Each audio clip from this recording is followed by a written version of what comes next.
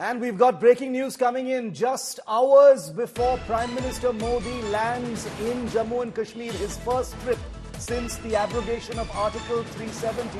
A Pakistani ploy has been busted ahead of Narendra Modi touching down in Srinagar. An ISI social media toolkit to disrupt the Prime Minister's Srinagar visit has been discovered. Sources say the ISI is calling for a boycott of the Prime Minister's rally. Locals in Srinagar are apparently getting threatening calls from international numbers, threatening to harm their families if they attend Prime Minister Modi's rally in Srinagar tomorrow. Take a look. लगातार सुबह से कई सारे लोगों को landlines और mobile phones पर call आ रही है इंटरनेशनल नंबर से, जिसमें उनको कहा जा रहा है कि बाइकाट करें वो प्रधानमंत्री की रैली की जो कल होने वाली है। उस पर क्या आपका कहना है? जी, आप बिल्कुल वजह फरमा रहे हैं। ऐसा मेरे को भी रिपोर्ट में आया और मेरे कुछ दोस्तों और रिश्तेदारों ने, जो और हमारे पार्टी के वर्करों ने बोला कि उनके रिश्तेदारों को कॉलेज आई है इंटरनेशनल नंबर से। इनसे ये कहा जा रहा है कि आप मोदी के जी के प्रोग्राम में मत जाएँ। तो मैं आपको साफ़ बताऊँगा कि दुश्मन ताकतें बोल बोखला गई हैं।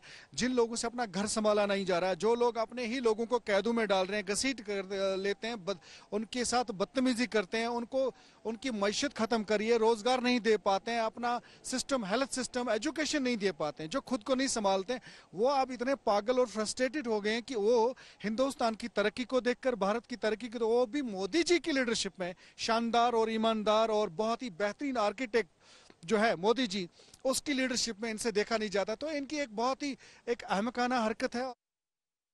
Looks like Indian social media has already started hitting back to the Pakistani toolkit with Salam Modi ji, the number one social media trend uh, right now uh, ahead of the Prime Minister's visit to Srinagar. Let's go to Ashraf Wani, our bureau chief in Jammu and Kashmir, joining us live.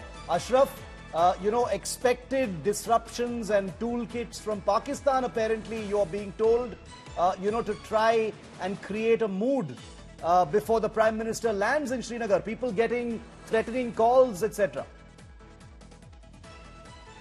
Not the complaint what we personally received from uh, many people in the mm. Srinagar, but also, in fact, I myself got a call on okay. the landline uh, phone in the office where from the international number with the starting ISD code of 44 uh, came and mm. that was clearly the voice of the Khalistani uh, handler, which is uh, in the uh, Canada, hmm. uh, who was saying that everyone in the Kashmir should boycott the Prime Minister's rally uh, scheduled few hours uh, later in the uh, uh, day tomorrow. And in fact, the police has taken the consequence of that toolkit and has asked the people not hmm. to.